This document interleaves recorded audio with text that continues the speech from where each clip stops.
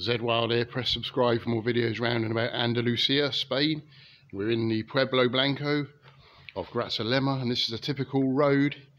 The whole of the village is, or small town is like this. There's no different coloured buildings. I expect there's a law about it where you wouldn't be allowed to paint it any other colour. So you keep the traditional Pueblo Blanco look. There's a supermarket there, you wouldn't know it was a supermarket. It's only a small sign. Eroski. I'm just waiting for my bus. And yeah, I think, to be honest, these villages, which are all painted the same colour, makes them look really good.